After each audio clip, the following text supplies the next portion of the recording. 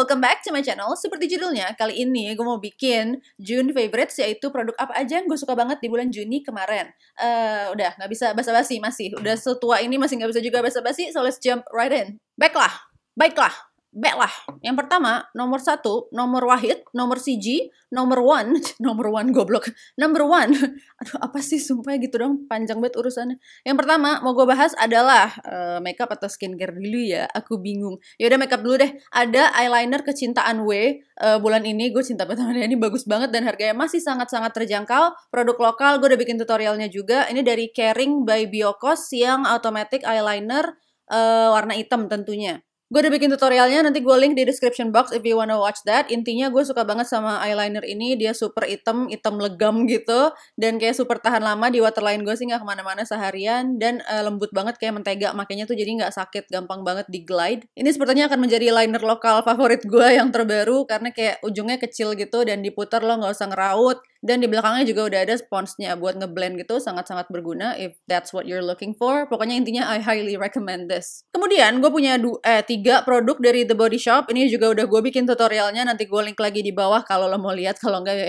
nggak penting kok, nggak penting video gue seperti biasa. Uh, ini ada tiga produk yang gue suka banget dari The Body Shop. Yang pertama adalah bronzernya, ini yang gue pakai sekarang. I don't know if you can see that, tapi I use quite a lot of this karena dia sangat-sangat bisa di build up dan kayak ada pink-pinknya gitu, jadi sekaligus bisa buat blush on. Harganya membuat gue agak berpikir 100 kali sebelum ijab kabul gitu. Cuma begitu gue pakai, I think it's totally worth the price. Seperti yang gue bilang di videonya, Body Shop tuh complexionnya bagus banget. Pokoknya gue suka dia. Aku suka dia, mah. Tenet. Tapi ya kalau lo bukan anak bronzer, you don't need to buy this. In my opinion, kayak banyak bronzer yang bagus dan harganya jauh lebih terjangkau dari ini. Tapi karena gue emang akan selalu pakai bronzer, jadi gue sih nggak keberatan. Maringono masih dari The Body Shop, aka toko badan. Gue juga suka banget sama bedaknya. Ini seperti yang udah gue bilang juga di videonya, coveragenya ada banget, berguna banget. Ini yang gue pakai sekarang. Dia super halus dan super nutup lah intinya. Pokoknya gue suka. Packagingnya juga kece parah. Jadi buat yang lagi nyari bedak, you might wanna try this. Lalu aku tuh juga suka banget sama si si foundationnya Fresh Nude Foundation namanya ini juga udah gue bilang bagus banget. Dia coveragenya nggak terlalu tinggi jadi if you're someone like me I don't really like that full coverage anyway jadi gue suka banget foundation kayak gini yang lebih menjurus ke BB cream. Jadi coveragenya super light tapi kayak nggak berasa pakai apa-apa gitu. Hasilnya dewy tapi nggak lebay gitu masih sangat-sangat sehat kelihatannya dan intinya lebih buat ngeratain warna kulit lo aja. Jadi mungkin buat yang kerja yang butuh sesuatu buat dipakai sehari-hari tapi nggak terlalu tebel jadinya I highly recommend this one. Lanjut gue punya sesuatu yang yang merupakan adalah campuran atau hybrid atau adalah mixture mixture dari dua produk. Dan gue biasanya bukan seseorang yang suka sama produk beginian karena ini kurang nutup buat gue. Tapi gue suka banget karena ini super moisturizing dan jatuhnya gue pakai sebagai lip balm. Ini dari Silky Girl aka gadis sutra atau gadis lembut sutra gitu mungkin maksudnya. Ini yang moisture balm lip color nomor 05 leci. Uh, ini bukan yang gue pakai sekarang sih gue pakai lipstick lain lagi. Cuma gue suka banget sama dia karena kayak I don't know if you can see that tapi dalamnya tuh kayak lip balm agak bening gitu dan di luarnya barulah lipsticknya. Warnanya juga cantik banget kayak pink gitu dia sama sekali nggak nutup sebenarnya. Makanya gue bilang bukan sesuatu yang biasanya gue suka tapi dia super melembabkan. Makanya gue pakai sebagai lip balm. Gue nggak tahu gue pernah bilang apa enggak ya tapi gue tuh agak lip balm freak gitu. Gue bisa pakai lip balm berkali-kali dalam sehari biarpun gue nggak ke mana-mana. Dan biasanya gue pakai yang warna bening karena beberapa lip balm tuh nggak tahu kenapa kalau ada warnanya dikit agak merah agak pink gitu di gue malah jadi aneh kayak super berminyak abis makan gorengan gitu. Karena bibir gue luarnya hitam but this one does not do that jadi kayak mungkin warnanya cocok kali ya sama bibir gue, jadi lebih terang aja gitu kelihatannya lebih merata tapi super moisturizing. So what's not to like? Jadi intinya gue sangat-sangat suka dia. Kalau bibir lo pinggirannya hitam dan lo nyari lip balm yang agak membantu warnanya, you're gonna love this. I highly highly recommend this kok kayaknya gue ngomong cepet banget ya hari ini. Kayak lebih cepat dari biasanya gitu. Kayak tak tak tak tak tak kelar gitu. Gagah banget gak? kemudian kita merambah ke cambah ke skincare.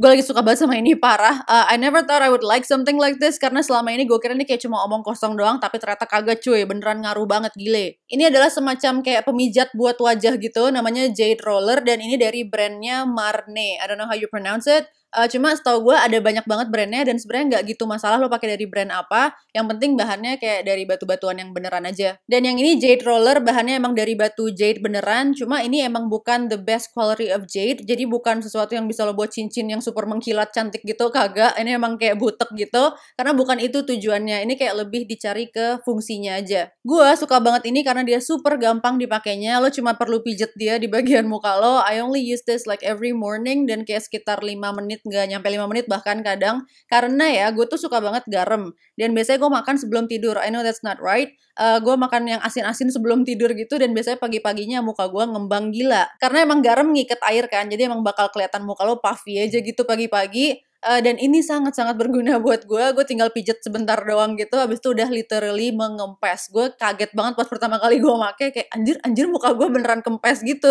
Lo bisa google cara make yang sebenarnya kayak gimana, because I'm sure gue makainya geradakan gak jelas suka-suka gue gitu, kagak ada aturannya. Jadi kalau mau tahu pastinya gimana, mungkin lebih baik google aja. Cuma what I usually do adalah gue pakai di sekitar pipi sini, karena itu biasanya yang super ngembang, dan buat di bawah mata yang gue fokusin sih biasanya itu tiap pagi kadang-kadang jidat juga cuma gue nggak gitu mengerti efeknya buat jidat. Jadi biasanya gue fokusin di dua area itu aja dan kadang gue pakai ke leher juga. Ini pokoknya ada yang lebih besar dan ada yang lebih kecilnya. Yang bagian kecilnya emang biasanya ditujukan buat sekitar mata sini. That's pretty much the basic idea of this thing dan menurut gue ini sangat sangat sangat berpengaruh. Gue nggak gitu paham fungsi dari jade-nya sendiri kayak energinya atau apa gitu-gitu gue kagak gitu ngerti. Cuma intinya dia berfungsi buat ngempesin muka gue aja. Jadi buat yang mencari sesuatu buat nirusin atau ngempesin muka lo, I highly highly recommend this. Gue dapet ini dari online shop, nanti gue tulis di description box. Lanjut, ini adalah salah satu skincare lokal favorit gue memang. Dari dulu gue cinta banget sama dia. Ini dari Elsia Skin yang Radiant Skin Serum. Sebelum ini gue udah nyobain yang smoothing serumnya, itu bagus banget buat beruntusan. Di kulit gue sih sangat-sangat berguna.